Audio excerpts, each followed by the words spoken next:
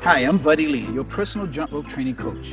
Parents, I'm going to teach you how to teach your kids the right way to jump. The right way is low impact, safe, and a lot of fun. Jump rope is considered to be the perfect exercise and the building block to fitness. It's simple, and inexpensive, portable. To get started, all you need is a jump rope, some guidelines, and motivation. Step 1. Choose the right spot.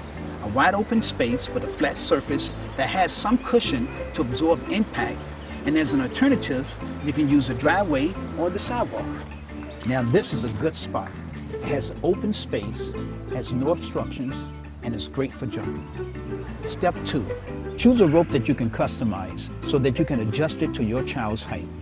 The way you do that is by taking the rope, stand on the center with both feet, and be just right for your height.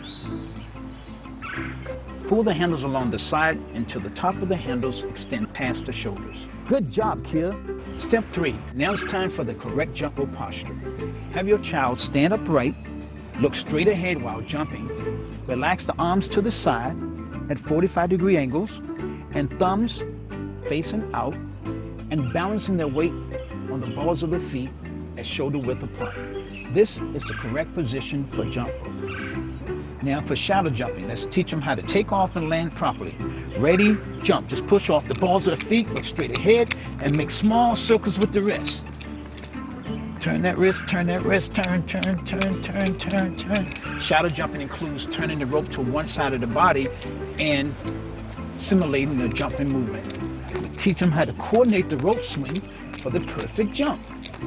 Step 5. We're going to teach your child how to swing the rope. Thumb goes on top. Very good. Rest the rope behind the knees. Practice swinging the rope to form a nice even arc. There you go. Repeat this movement for timing and rhythm to coordinate the rope swing for the perfect jump. Jump. Okay. No pain, no gain. That's the making of a champion. Now, let's put it all together. Starting position, there you go. And jump. Nice kid. Getting better. Remember, parents, the key to jumping is one step at a time. Kids may get discouraged, but with practice, patience, and perseverance, they'll be jumping in no time. Hey, you're doing it!